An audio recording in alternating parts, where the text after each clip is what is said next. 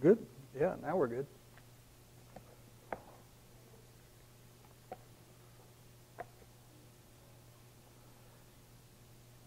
I'm not going to add any more, very much more to what Dale just said, except to say this. Um, Dale was special to us before he was special to you. That's all I'm going to say. Even Janelle.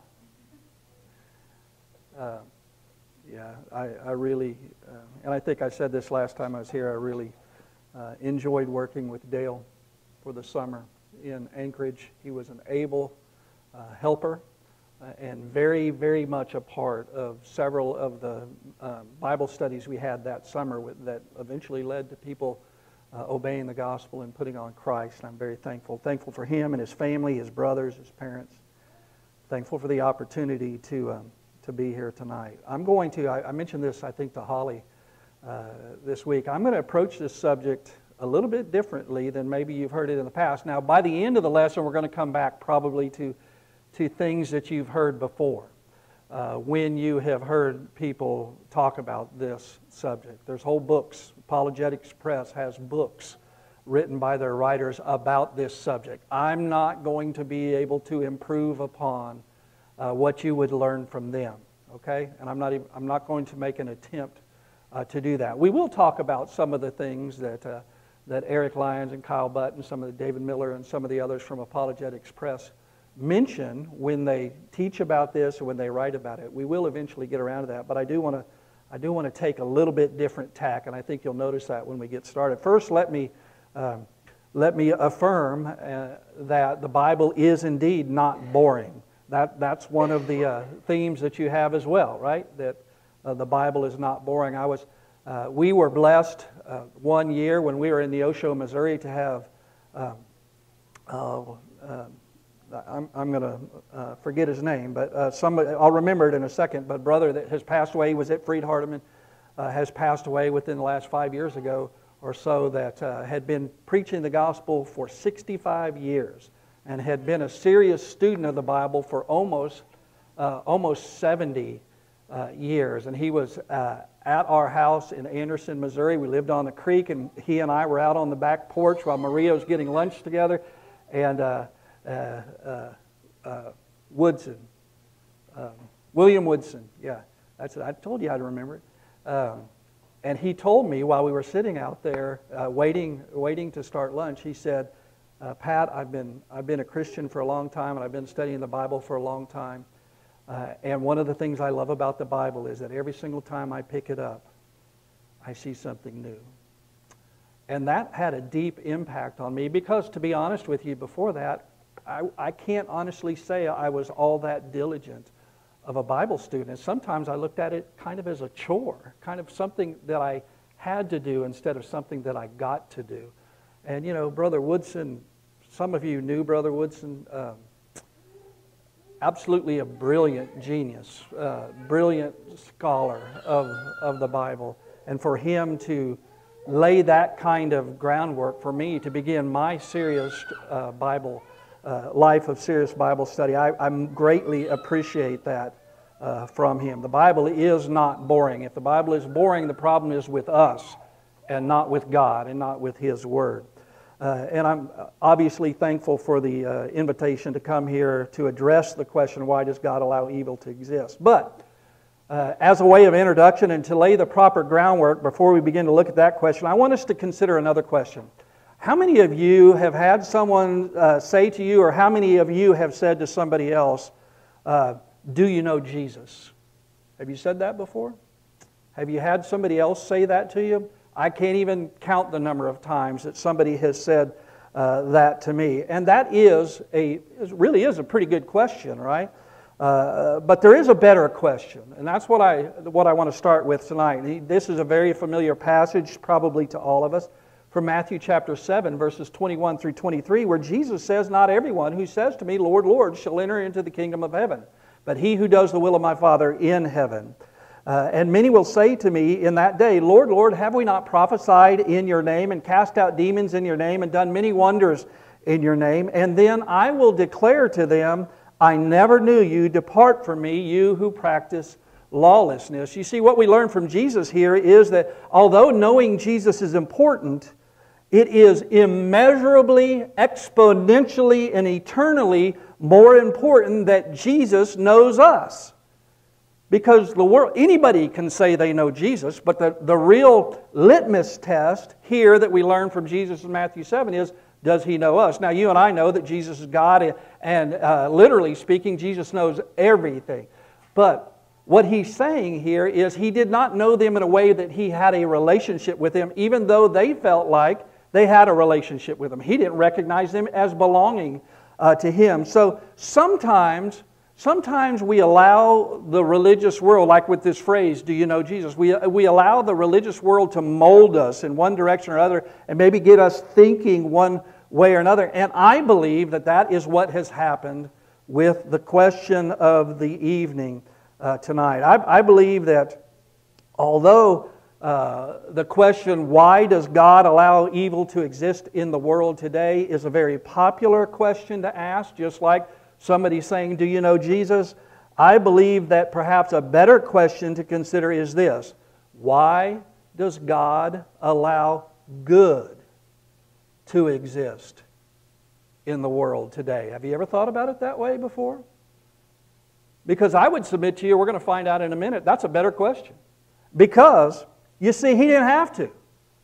God did not have to allow good to be in the world. You know, from Genesis chapter 1, verse 1 to Genesis chapter 3, verse 5, everything was perfect.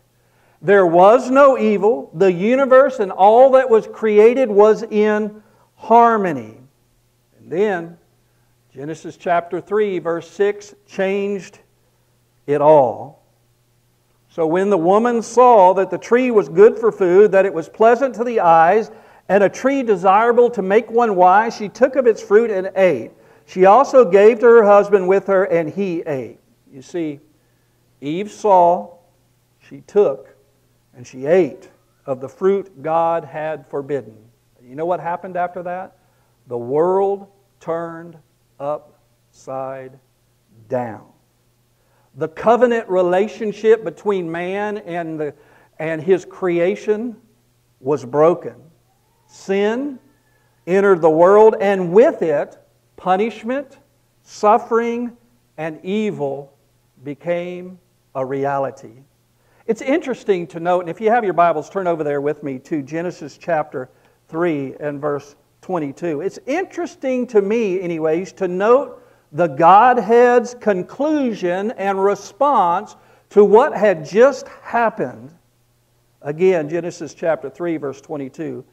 Then the Lord God said, Behold, the man has become like one of us to know what? Good and evil. And now, lest he should put out his hand and take also of the tree of life and eat and live forever. And then he go, they go on in that line of thinking. Before the fall, before Genesis chapter 3, verse 6, there appears to have been no recognition of evil or even the possibility of there being anything such as evil. Because God here is saying, now that they've done this, they can recognize the difference between good and evil. The implication is before they did this, they could not have. Why? Because there was no such thing as evil. We know that's true because God saw everything that He had made and it was very good. Who said that? God said that. Genesis chapter 1 and verse 31. At that point, at that moment in time, all that man deserved was physical and spiritual death. How do we know that? Because Paul tells us that. Romans chapter 6, verse 23, right?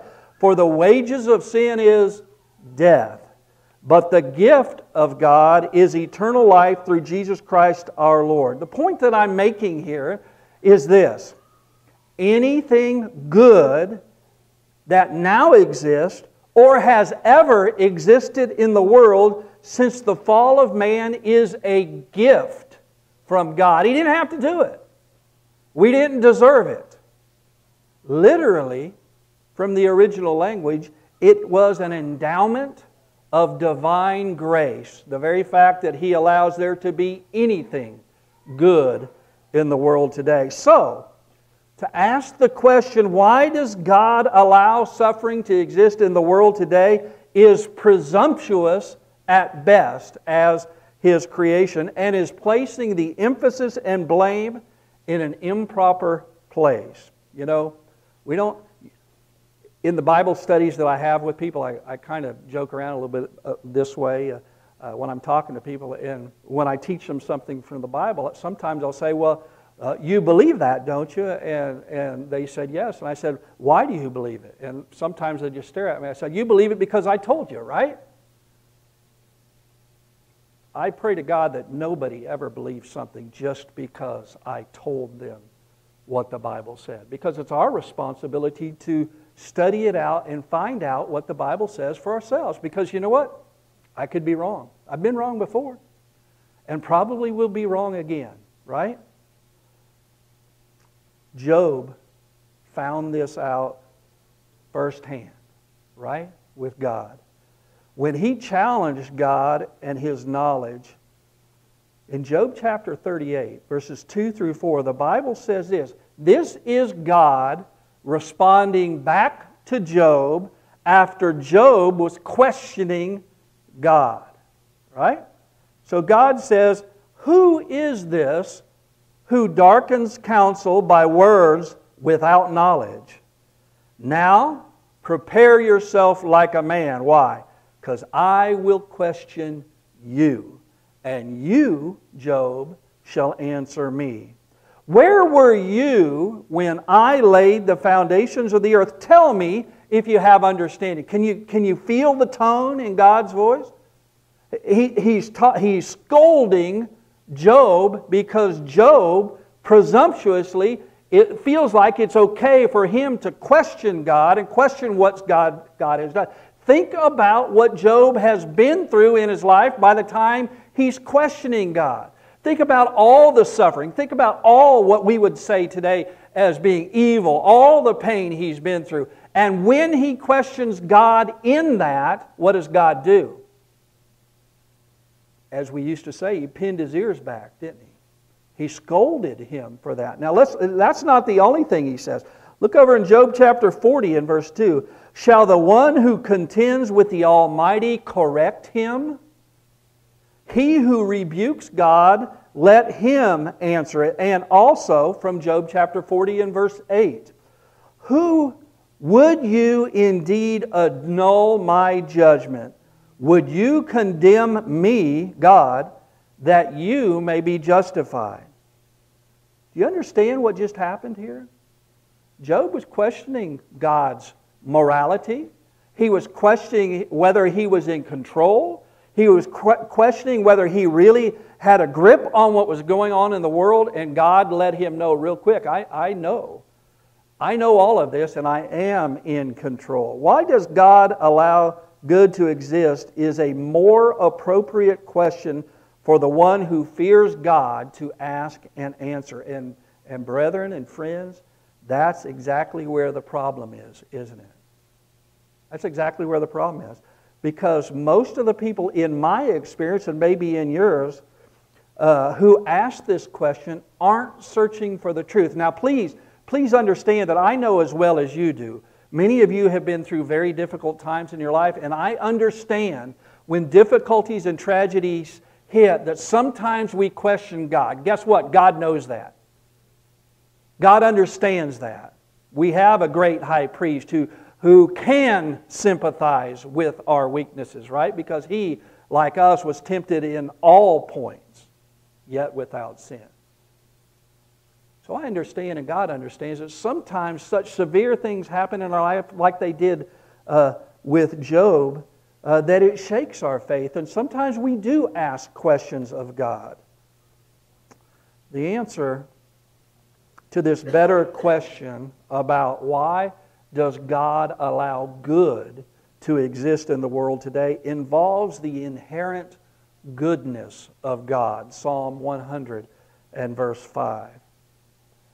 The answer involves the nature of God as an all loving God. 1 John 4 and 8. And it also involves the deepest desire of God for his creation, which is found in 1 Timothy chapter 2 and verse 4. The previous verse talking about God, who desires all men to be saved and to come to the knowledge of the truth. That is God's deepest desire. That's God's heart's desire. You know, Jesus is the one that said that God makes the sun to rise on the evil, there's our word, and on the good. And he sends the rain on the just and the unjust. Matthew chapter 5 and verse 45. Why does he do that? The point Jesus is making is God sends physical blessings so that everybody will be blessed, whether they believe and obey God or not. These are blessings that are available to everybody. Now, why would God want to bless people that don't care about Him? Because His greatest desire is for all men to be saved. And He wants them to at least have some chance of giving consideration to Him and obeying Him. He does that. He sends the rain so that all will be blessed. God allows good in this world so His crowning creation, you and I, and all mankind who are made in His image will seek, find, and obey Him, and ultimately spend eternity in heaven with Him. That's why God allows good to exist in the world today. It really is no more difficult than that. You don't have to jump through theological hoops to find out about that. That's exactly what God wants. He, he wants everyone to be saved. So, since the majority of the world does not believe in God, and since we want them to believe in God, right, Dale? We want them to believe in God. We want them to be obedient to the gospel, right? We want them, even those that hate us and hate God, we want them to spend eternity in heaven. Amen? That's right. We want them to. Because of that, and because that's God's greatest desire, it should be our greatest desire. There should be no other desire you and I have other than the salvation of our soul and everybody else's soul that we can come into contact with. So, since that's true, we need to be prepared. 1 Peter 3:15, right? We need to be ready to give a defense for the hope that lies within us with meekness and fear, right? Why? because we want them to be saved. We, we, you've heard this said many times over the years, and, it, and it's just as true today as it was first time it was said. Uh, we, we should not be about trying to win arguments with people theologically. We should be about trying to win souls. And the only way we're going to be able to do that is if we are prepared to give a defense for why we believe what we believe. And why should we do that? Because whether their questions are presumptuous or not, because of what's at stake. Because their souls are at stake. And God wants us to be concerned about souls. You know, I talk about this a lot when I'm teaching classes on personal evangelism. It would be naive at best for you and I to believe that a non Christian could see the impropriety of questioning God. Why would we expect a person that doesn't even know about God and hasn't obeyed God and hasn't become a Christian, why would we expect them to understand that it's wrong to question God this way? It's wrong to question His motive. It's wrong to question His sovereignty. It's wrong to question His right to rule. It's wrong uh, to question whether He is in control of the universe. Why would we expect them to know that and to believe that? Well, we shouldn't. It's very naive. And so, what we have to do is find out where they're at. Uh, isn't that true with all, Eric? Isn't that true with all personal evangelism we've done? Uh, we got to find out where people are at so we know how to approach them so that we can have the best probability of winning them for Christ. Isn't that what evangelism is about?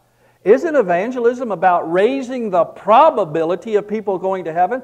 Everybody has the possibility of going to heaven if they will just but listen. But what we need to do is raise the probability of them going to heaven. That, that's where us uh, reaching out to people, being friendly to people, making people feel welcome when they come to our services, making contacts within the community, with our neighbors, our coworkers. That's what it's all about, is being ready to give a defense for what we believe so that they too will spend eternity in heaven. Let's not fall into the trap of, of saying, well, why don't they know that? Or why don't they believe that? It, it's naive at best to believe that they're going to believe what you already believe. But they need to. They need to come to that knowledge. Because God doesn't just want them to be saved. The end of that verse says, and come to the knowledge of the truth, right? He wants them to be saved and knowledgeable of the truth. If a faithful man of God, and we don't have to look any further than the first chapter of Job to find out what God thought about Job, but if a faithful man of God like Job could question God, then you know what? You and I are probably going to question him sometime during our life as well, right? And aren't we thankful that questioning God, even though he might, like he did with Job, he might have something to say about that to us, right? It doesn't mean that he cuts us off when we do that. Because sometimes, because we're human and he created us, he knows, doesn't he? That we're going to question what's going on in the world. We're going to question what's happening in our lives. We, like Job, must realize who God is and that he is in control and knows what we need better than we do, right? God knows what we need better than we ever will. Now, that is the, the groundwork. We've, we've laid the groundwork for our study. So let's, let's now, that's the introductory remarks. I hope we still have some time left. Um, let's uh, begin to try to answer the question of the hour, which is why does God allow evil to exist in the world today? And again, this part of this question might answer might be a little bit different than you've heard if you've, you've read some of Eric and Kyle's stuff or you've, uh, or you've listened or seen them speak before. Um, I believe that to answer this question, what we need to do is we need to start at the source of a lot of misunderstanding in the religious world, uh, both in and out of the church. And that misunderstanding starts with a passage in Isaiah chapter 45 and verse 7. Because if we don't get this right, or if we have questions about this in our own mind, how are we going to explain this topic to other people? And I want to let you know something right now. I have been trying to share the gospel with people for a very long time. And this topic that we're talking about tonight is one of, if not the, most important topic you're going to come up against when you're talking to people about the gospel. Because this topic will keep more people away from giving God serious consideration than almost any other topic you can think of. Well, if there's a God, why is there so much evil? Why is there so much pain? Why is there so much suffering in the world? Right? Those of you that spend very much time doing this know that what I'm saying is true, right? So that makes it important. Why? Because we want all men to be saved, just like God does, right? So we need to be ready to give a defense. So one of the things that people are going to bring up is what we're fixing to talk about. So this may be, may be the most important part of the lesson is what we're fixing to talk about from Isaiah chapter 45, verse 7. And I'm going to, I, I preach from the New King James Version. I have a lot of different versions that I study from. And what I'm going to read it from here right now is from the 1611 King James uh, version because it uses a word here uh, that has caused uh, a, a, lot of misunderstanding uh, in the religious world. Um, Isaiah 45, verse 7 in the King James Version says, The prophet uh, wrote of God, I form the light and create darkness, I make peace and create evil. Hmm. Interesting, right? God creates evil. Can you see how somebody who might be critical of the Bible or critical of you for being a believer in God, if they read that verse, they might go, Well, what's that mean? Uh, I thought God was good. I thought, I thought everything God created was good. And the end of that verse says, I, the Lord, do all these things. Okay, so, like the topic uh, of the hour and like the fact that sometimes phrases and words get hijacked, the meanings of them get hijacked in the religious world. What we need to do is we need to drill down and we need to dig deep and find out exactly what Isaiah uh, was uh, saying here in Isaiah chapter 45, verse 7. First of all, one of the things we, if we believe that the Bible is from God, if we believe that, that all Scripture is inspired by God, right? Uh, if we believe that, then one of the things we have to base our understanding of this verse on is the fact that it cannot have any reference to moral evil. In other words, it cannot be regarding wickedness because if it was, it would be a direct contradiction to the whole rest of the Bible. If it was saying that God created wickedness, then that would put God at odds with himself and at odds with his nature. And this is because of the holy nature of God. Isaiah chapter 6 and verse 3.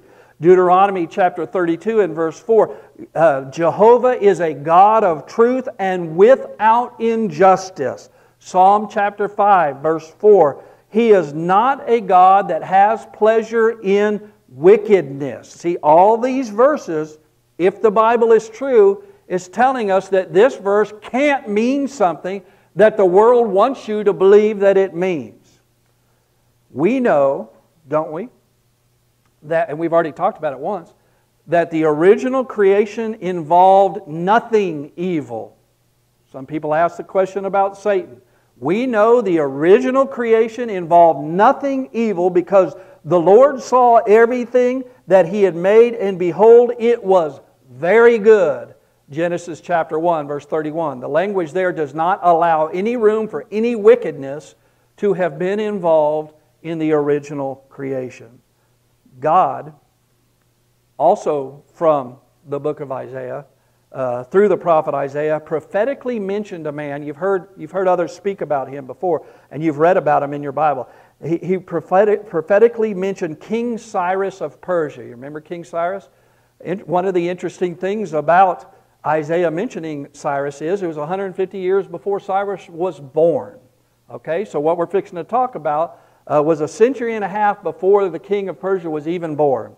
And when, within Isaiah chapter 45, verses 1 through 7, is the affirmation uh, of the sovereignty of the Almighty God. His intention, his stated intention in Isaiah 45 of this man who hadn't even been born yet was that he was going to use Cyrus, who was going to be a pagan king, as an instrument of his holy will. He was going to work out his will using somebody that had no regard for God had no desire to be obedient to God, and he was going to use him mightily. Indeed, uh, uh, within uh, Isaiah is proof that God is sovereign and he is almighty. In verse 5, it says, There is none like him.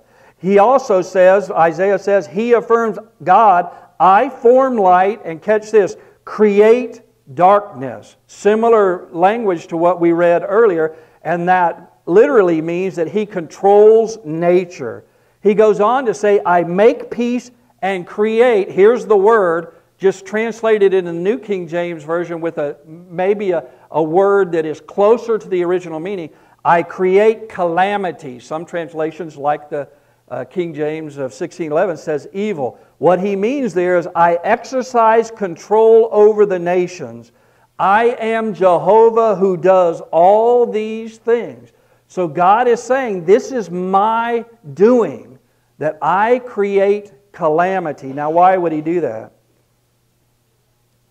We need to notice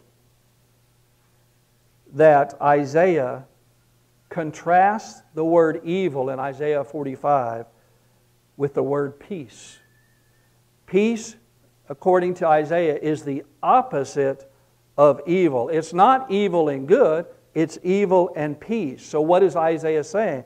Isaiah was simply stating that Jehovah has the power to cause peaceful conditions to exist, and he also has the power to bring about calamity or destruction if that is in keeping with his will. Consider another passage. God warned the Israelites that if they made an alliance with Egypt, he would bring what upon them? Evil, or depending on your translation, desolation. Isaiah chapter 31, verses 1 and 2. Again, in describing the coming judgment upon ancient Babylon, the prophet declared this Therefore, here's our word evil or calamity or desolation shall come upon you. You shall not know from where it arises, and trouble shall fall upon you. You will not be able to put it off. And desolation, again, that word, shall come upon you suddenly, which you shall not know. Isaiah chapter 47 and verse 11. So, the evil that's being discussed in this verse that people kind of get tripped up on is not the moral evil that we equate it with regarding wickedness. The evil that God is talking about creating and, and bringing into the world was that God sent a desolation due to nations because of their wickedness. God allowed nations to fall because they were unrighteous and they were not obedient to His will. Also, from Amos chapter 6 and verse 3, evil can also be used with a purely secular meaning to denote times of distress. Listen to what the prophet Amos said Woe to you who put far off the day of doom. That's that word, the day of evil. Who cause the seat of violence to come near. And what he's talking about there is he's talking about a, a day yet in the future that's going to come where it's going to be extremely difficult. There's going to be great tribulation in the land. And he uses the same word there that's translated e- uh, evil in Isaiah chapter 45 and verse 7. That's exactly the meaning of what Isaiah meant in Isaiah 45, verse 7, was that uh, he was going to create circumstances in such a way that calamity or desolation would come upon the nation of Israel. So, did God create evil as we predominantly use the word to indicate moral wickedness? And the answer to that is, is simply no. He did not do that. He did not create that.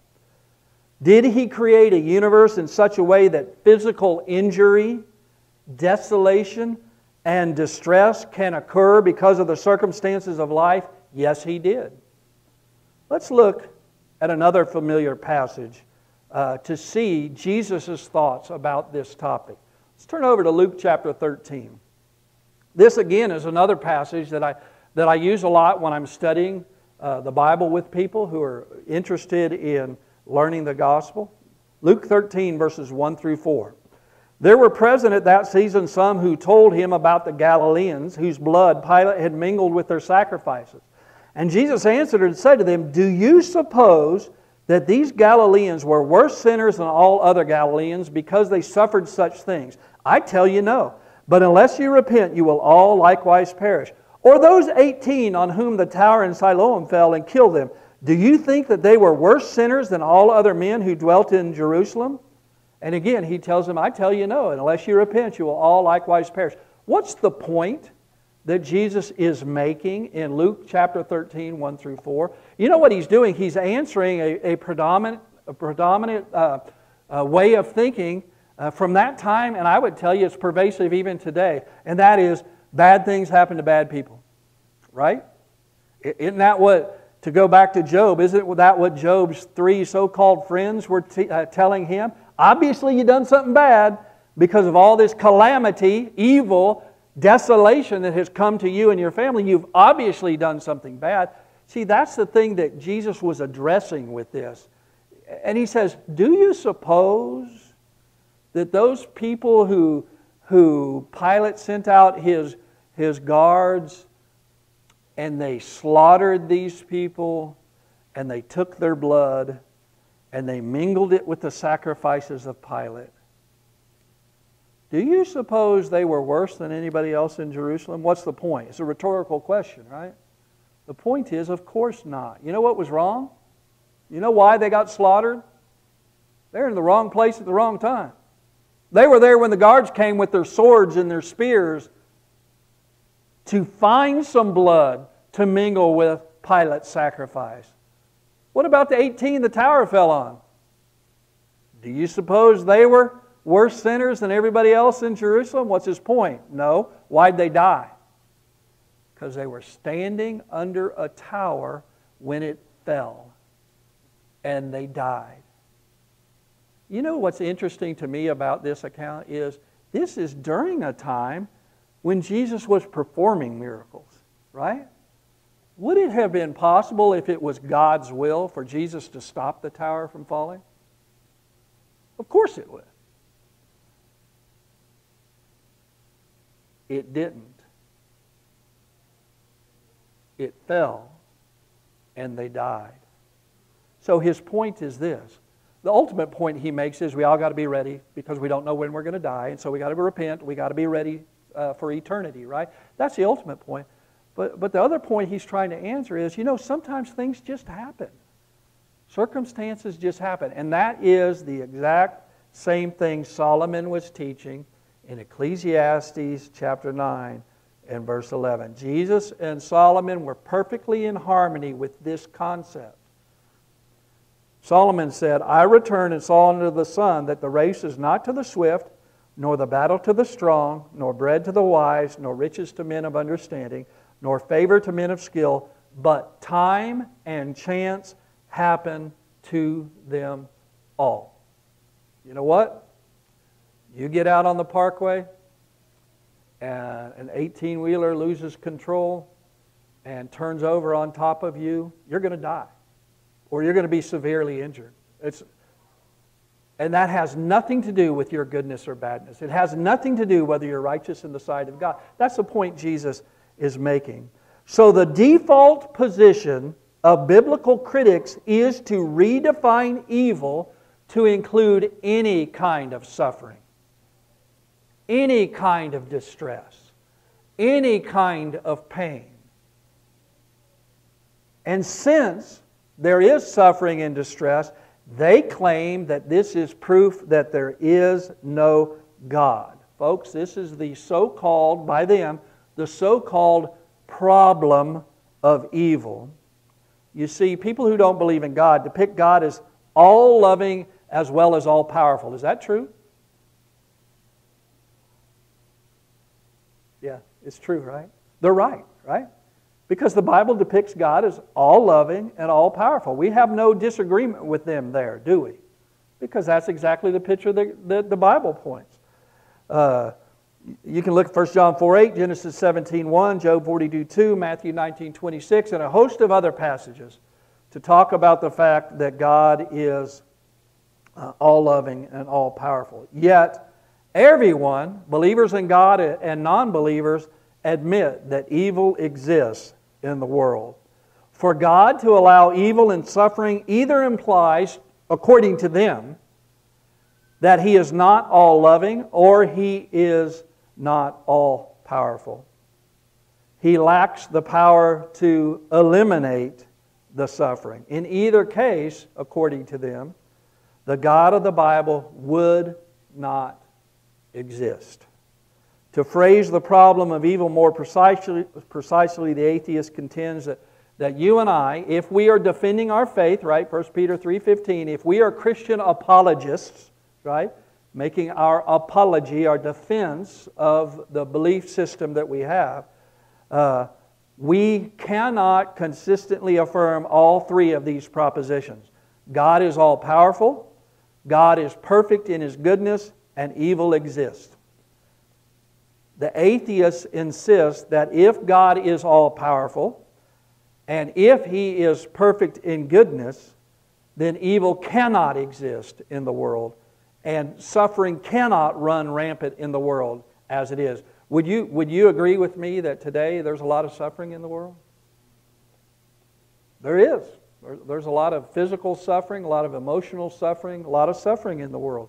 Certainly it is in the world. If, on the other hand, God is perfect in goodness, but he lacks the power uh, that the Bible claims that he has, his goodness should move him to exercise his power to eliminate evil on the earth. That's what they would say. And so their point is that he obviously is not all powerful. So since you and I would affirm all three of those things are true, he's all loving, He's all powerful and evil exists. The atheist claims that we're inconsistent. We're guilty of affirming a logical contradiction, a conundrum uh, that we cannot successfully uh, deal with, and therefore our position is false. this, in their mind, presents an insurmountable problem for you and I. So, again, because we want to be able to defend our faith, how do we answer this? This supposedly insurmountable problem. Well, we must come to a reasonable conclusion. What Isaiah say in Isaiah chapter 1 and verse 18. Come let us reason together. Why should we do that? Because we need to have a reasonable conclusion about difficult topics. Would anybody disagree that this is a difficult topic? I don't think anybody would. Nobody that I know that, that knows anything at all about the Bible would say this is not a difficult topic. And it's mainly difficult because it takes so many people away from God. And we have to deal with that so we can win their souls. In order to answer this question successfully, we must explore this. This is the key. If you're taking notes, this is the key. We have to explore the purpose of human existence. Why are we here at all? That's the only way you can answer this reasonably in a way that will satisfy and should satisfy a reasonably minded person. Does that mean everybody's going to agree with you after you do it? Nope, it's not going to happen. Will some? Yes. If you make a reasonable defense for what you believe, some will come around on this topic. Many of you have heard uh, the name Thomas B. Warren. Uh, Thomas B. Warren completely undercut, undermined the atheist use of the problem of evil. He writes, and demonstrated that the Bible teaches that God has a morally justifiable reason for having created the world in which evil can and does occur. You understand what he's saying? He's saying he has a defensible reason for God doing what he did in creating the universe and the world in such a way that evil can exist. Suffering can exist. He's saying there's a good reason for it. What is that reason? Here's the answer God created this planet to be the ideal environment for soul making, for making our souls pleasing to God. He made this planet and our universe perfectly in order for us to do the things in this life that would be pleasing to God so we could spend eternity with Him. Folks, that is the sum of the purpose of the existence of human existence. God specifically created humans to be immortal. We have a soul that will live on forever somewhere. He created us as free moral agents. The people that we're talking to about this topic don't believe that. They don't believe that there's anything such as free moral agency. They believe that God created us uh, uh, like robots, where we really don't have any free moral agency, that everything's predetermined, uh, and if there is a God at all. Uh, he created us in such a way that we're responsible for our own actions. God does not hold the sins of other people against other people. Only the sin, the person, the soul that sins will die, right? And the point that God's making there is we're responsible for our, our own choices and our own actions.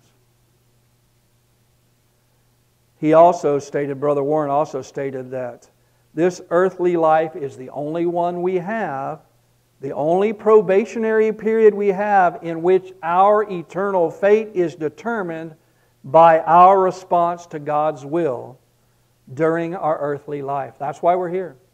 We're here to prove to God we want to spend eternity with Him forever by living according to His will. Therefore, Brother Warren concludes the world is as good as any possible world for the purpose God had in creating it, since it was designed to function as man's place or location of soul making, soul molding into the image of Christ.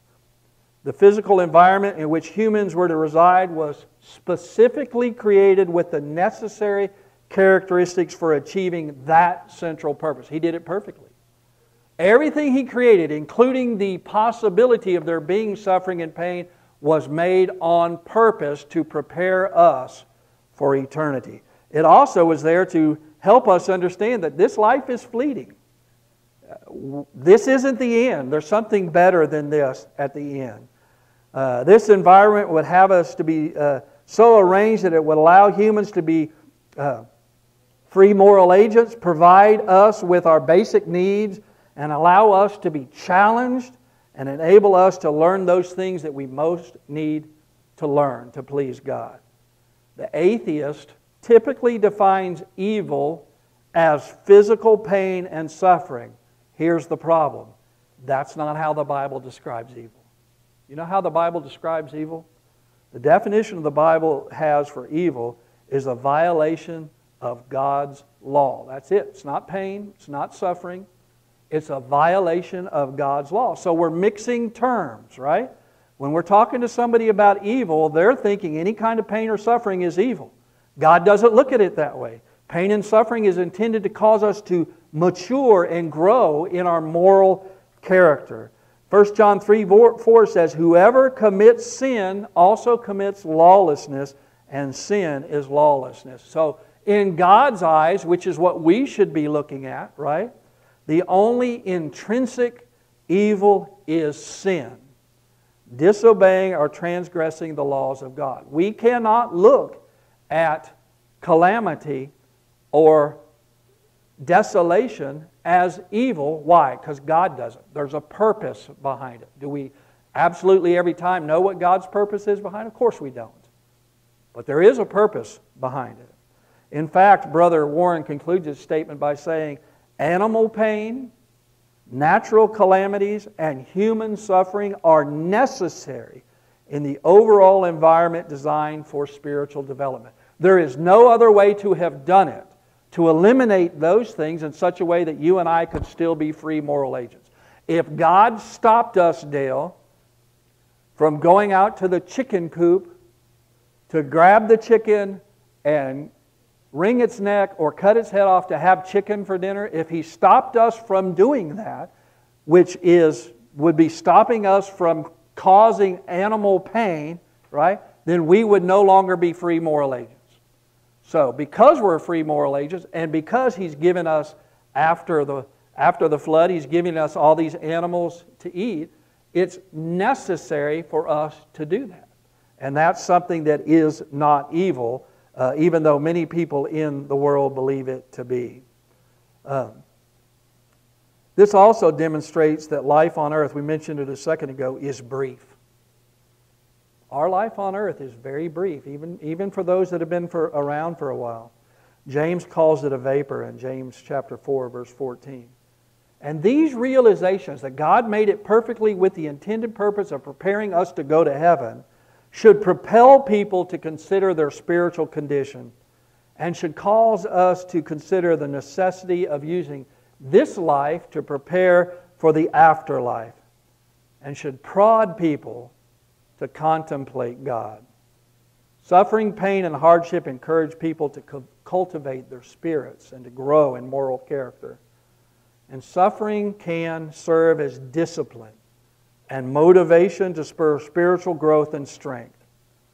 It literally stimulates people to develop compassion, sympathy, love, and empathy for their fellow man. Without, without Dale, I know you do it, and, Janelle, you work in the hospital. I'm sure you see it all the time, and there's maybe others here that do as well. Uh, there's something powerful about watching people care for others that they love. Something powerful about watching that compassion and that empathy, uh, which we would not know about if there wasn't suffering in the world. We would not develop those characters, characteristics if there was not suffering in the world. What's the conclusion of this? I don't know what time we're supposed to stop, but we're, we're going to tie it up here in a second. What's the conclusion to this lesson? Just to sum it up, why does God allow evil to exist in the world? Well, first we talked about the fact that we first need to ask why does God allow good to exist in the world? And the reason for that, as we studied, was because He's an inherently good God. He, he's all loving, and He wants us to go to heaven. That's why He allows good in the world. That's why He has gifted us with the blessings that He showers upon us, every good and perfect gift, every good and perfect blessing, everything that's good comes from God. Also, the existence of evil prepares us for eternity because it forces us to choose. God wants us to choose good, not evil. God never intended for us to be robotic in nature, simply doing what we had previously been hardwired to do, as if we had no choice. He has blessed us with choice. The existence of evil forces us to deal with difficult situations. And you know what? God wants us to deal with them righteously and faithfully, even in the most difficult of situations. The existence of evil helps us focus on the long view, our ultimate goal, and eternity in heaven, instead of the short view. What are we suffering through right now? Is it easy for us to, to focus on and, and, and get that tunnel vision on what we're suffering through right now? The, the difficulties of life. I don't know about you, maybe I'm the only one. I don't know. It's easy, isn't it? To just focus on what's going wrong in our lives or our immediate uh, families' lives instead of looking at the long view. Well, how is this preparing me? How is God going to use this, work this thing together for good to those that are the called and uh, according to his that love God and are called according to his purpose? And lastly, the existence of evil helps us develop the kind of moral character that pleases God. And ultimately, isn't that what we all want? Ultimately, what we want is for God to say, Well done, good and faithful servant, right? And that, that's the whole point of this topic and why we need to look at it very thoroughly so that we understand it, so we can defend it against those who would say this is, this is the real reason why we don't believe in God, is because there's pain and evil and suffering in the world. Well, that is not looking at it from a biblical standpoint, it's looking at it from an emotional standpoint. Any of you like pain and suffering?